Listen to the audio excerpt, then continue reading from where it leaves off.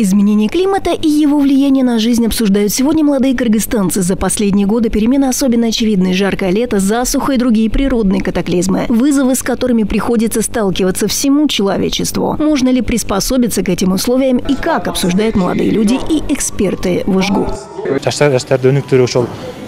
Мы, молодежь, не можем остаться равнодушными. Изменение климата в настоящее время может оказать серьезное влияние на здоровье человека. Сейчас я сделал ряд предложений. У каждого из нас должно быть личное мнение.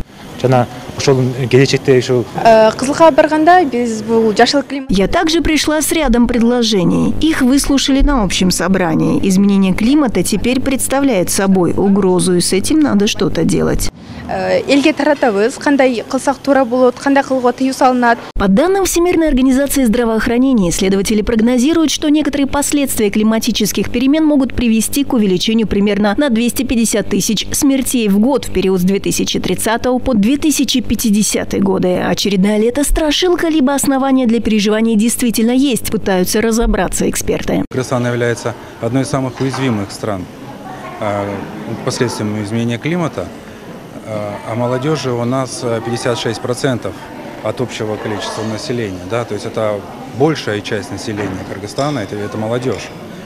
И молодежи очень важно знать, что происходит в стране, почему меняется климат, какие риски он к себе несет, что это ну, грозит чем да, для, для них, для нас. Да? А, И они могут подготовиться, а, могут при- ну, начать принимать э, участие в принятии экологически значимых решениях.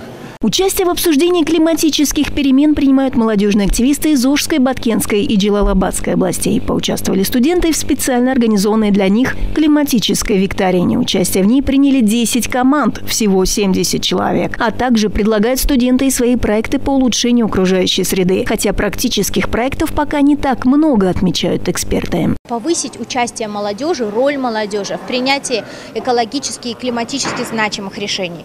Второй компонент – это интегрировать вопросы изменения климата а, в систему формального и неформального образования. Именно поэтому сегодня мы здесь, а, в ОЖГУ. ОЖГУ, как вы знаете, один из ведущих университетов, где также преподаются вопросы, связанные с окружающей средой. Мнения и предложения молодых неравнодушных к проблеме изменения климата кыргызстанцев без внимания не останутся, обещают организаторы обсуждения. Главное теперь собрать все в конкретные проекты, которые будут улучшать окружающую среду.